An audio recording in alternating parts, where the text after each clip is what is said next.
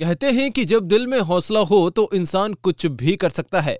ऐसा ही कुछ यमुनानगर के गाँव खेड़वक कृष्ण कुमार ने करने की ठानी है। वह एक भारत, एक देश। भारत मिशन के तहत कन्याकुमारी से कश्मीर तक पैदल यात्रा करने के लिए निकला है। आज लगभग तीन हज़ार किलोमीटर का सफ़र तय करने के बाद वो अंबाला पहुँचा, जहाँ पर उसका फूल मालाएँ पहनाकर स्वागत किया गया। उसने कहा कि मेरा मानना है कि भारत दुनिया में सबसे श्रेष्ठ है। उन्होंने कहा कि जिस तरह से अपनी गौरवशाली परंपराओं व वैभवशाली इतिहास को लेकर आगे बढ़ रहा है, लेकिन पड़ोसी देशों को ये रास नहीं आ रहा और वो हमेशा भारत को नीचा दिखाने की कोशिश करते रहते हैं। उन्होंने कहा कि मैं उनको बताना चाहता हूँ कि भारत किसी से डरने वाला नहीं है। उन्होंने कहा कि यहाँ जज्बे की कमी नहीं है। यहाँ एक से एक लोग हैं जो उनको मुँह जवाब देने के लिए बैठे हैं। कृष्ण कुमार सैनी यमुनानगर ज़िले के खेड़की ब्राह्मण गाँव का रहने वाला हूँ और फ़िलहाल छत्तीसगढ़ में मीडिया से जुड़ा हुआ हूँ। मैं अभी एक पदयात्रा पर निकला हूँ। एक भारत श्रेष्ठ भारत नारे के तहत कन्याकुमारी से कश्मीर तक की मेरी ये पदयात्रा है। पाँच जनवरी को मैंने अपनी ये पदयात्रा शुरू की थी।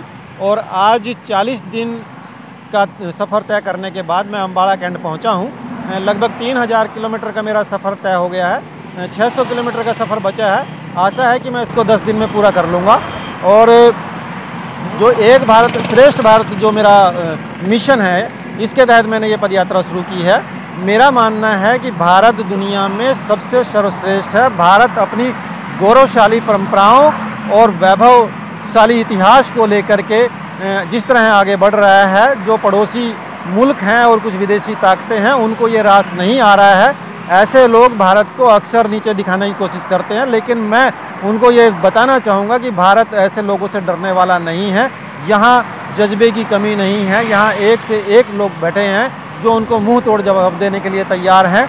मैं ये भी कहना चाहूँगा कि आज अभी जो मेरी ये पद यात्रा है, ये श्रीनगर के लाल चौक तक है। यदि हमारे प्रधानमंत्री जी बोलते हैं तो ये हम लाहौर में झंडा फैला कर आएँगे। यहाँ पर कुछ पुलिस के जवान हैं, वो और जो रास्ते में सैनिक जो मिलेंगे, उनके साथ यदि मैं चलूँ तो वो दिन दूर नहीं, जिस दिन हम लाहौर में ही झंडा फैला करके आएँगे। मैं ऐसे लोगों को ये बताना चाहूँगा कि वो आँख भारत को ना दिखाए। भारत अब ऐसे लोगों को सहने वाला नहीं है। इससे पहले भी पिछले साल मैंने तीन रिकॉर्ड बनाए थे। दस, एक दिन में 24 घंटे में 140 किलोमीटर पैदल चलने का रिकॉर्ड है कंटिन्यू दूसरा रिकॉर्ड है 10 दिन में 600 किलोमीटर चलने का और तीसरा रिकॉर्ड है 16 दिन में एक हज़ार चौरानवे किलोमीटर चलने का।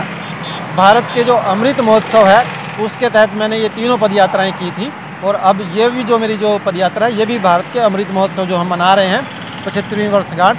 उसी के तहत ये मैं अपनी पदयात्रा कर रहा हूँ। मीडिया एक मीडिया कर्मी हूँ लंबे समय से मीडिया में हूँ लगभग पंद्रह सत्रह साल का मेरा कैरियर है मीडिया का लेकिन इससे पहले आ, मैं एक स्पोर्ट्स पर्सन भी रहा हूँ मैंने कई मैराथन रेसेस में भाग लिया है लेकिन आ, जो इच्छाएँ थी स्पोर्ट्स में आगे बढ़ने की वो मीडिया में आने के बाद उतनी पूरी नहीं हुई। अब मुझे लगा कि अब मुझे वो पूरा करना चाहिए और युवाओं को भी वो संदेश देना चाहिए कि हमें यदि मौका मिले तो वो उसको ज़रूर पूरा करें क्योंकि समय बहुत बलवान है और कभी कभी जब समय मिलता है, देखिए, जब मिशन बड़ा होता है तो परेशानियाँ आती हैं, लेकिन ऐसी कोई बड़ी परेशानी मेरे साथ नहीं आई, जिसको याद रखा जाए कि ये परेशानी बहुत बड़ी है।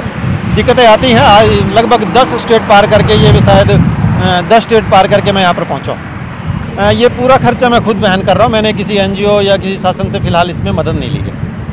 ऐसी ही खबरों के लिए आप देखते रहें अंबाला ब्रेकिंग न्यूज़। हमें यूट्यूब पर सब्सक्राइब करें फेसबुक पर हमारा पेज फॉलो करें और अपने मोबाइल के प्ले स्टोर से हमारी app Ambala breaking news download करें।